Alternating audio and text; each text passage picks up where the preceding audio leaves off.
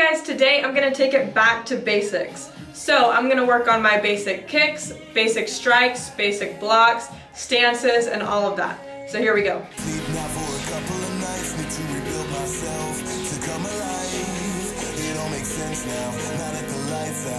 It's a different world to me, it makes me feel down.